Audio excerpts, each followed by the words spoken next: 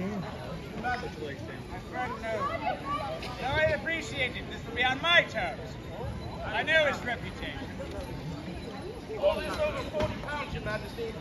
Yes, indeed, and the king's glove is down.